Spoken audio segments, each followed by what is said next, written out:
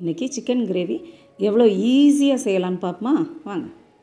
ஒரு பேனில் நல்லெண்ணெய் காய வச்சுட்டு பட்டை சோம்பு கிராம்பு ஏலக்காய் அன்னாசிப்பூ. இது அவ்வளோ போட்டு தாளிச்சிட்டு கொஞ்சமாக புதினா இலை ஒரு நூறு கிராம் சின்ன வெங்காயம் கட் பண்ணி போட்டுக்கணும்.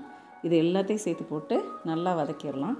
வெங்காயம் வந்து ப்ரௌனிஷாக ஆகிற வரைக்கும் நல்லா வதக்கிடுங்க இப்போ பாருங்கள் சூப்பராக வந்துடுச்சு இப்போ இதில் வந்து ஒரு ரெண்டு டேபிள் ஸ்பூன் அளவுக்கு இஞ்சி பூண்டு விழுது. சேர்த்து மிக்ஸ் பண்ணிக்கணும்.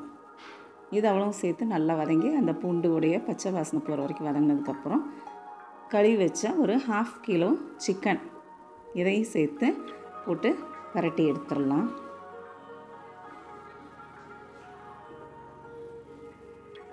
இப்போ இது கூட இதுக்கு கொஞ்சமாக மஞ்சள் தூள் சேர்த்துக்கணும்.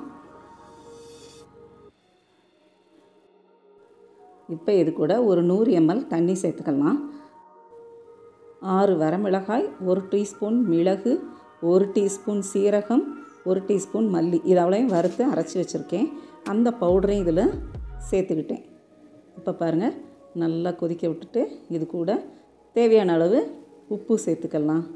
இதையும் சேர்த்து நல்லா பரட்டி விட்டுட்டு ஒரு தட்டை போட்டு மூடி வச்சுருங்க. கிட்டத்தட்ட ஒரு டென் மினிட்ஸ் மீடியம் ஃப்ளேம்லேயே வச்சு வேக வச்சுட்டா சூப்பராக வெந்துடும் இப்போ பாருங்கள் நல்லா கொஞ்சம் நமக்கு ஊற்றி சாப்பிட்ற அளவுக்கு எந்த அளவு தேவையோ அந்த அளவுக்கு கொஞ்சம் நல்லா தண்ணி வற்ற வச்சிடலாம்.